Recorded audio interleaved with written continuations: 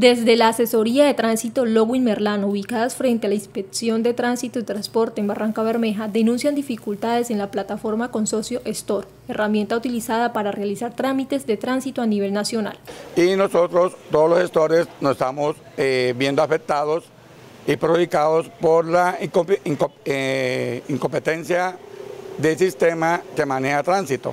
El tránsito en el 2018 contrató un sistema que se llama CIOT, el cual desde un comienzo se hizo mal porque no hizo el empalme con el, sistema anterior y solamente con el RUN, el cual quedó mucha información en el limbo.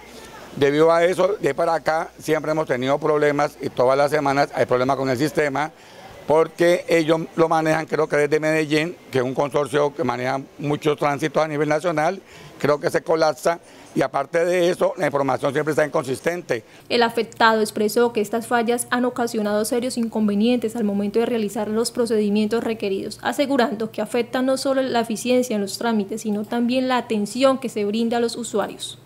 No hay soportes muchas veces y lo otro es que el sistema todas las semanas, cada rato se cae, se le dificulta a los mismos buzonarios liquidar los trámites y eso atrasa el proceso para hacer un traspaso de un vehículo. Eh, hay varios trámites que ellos muchas veces no los tienen ni siquiera actualizados y a veces les toca ceder a hacerlos por aparte realmente en el RUN como se trabaja los otros tránsitos. Esto es lo que también hace que se genere muchas inconsistencias y perjudiquen a los gestores porque la gente viene a hacer un trámite y se se ponen, se colocan enojados porque no se les tiene el trámite rápido.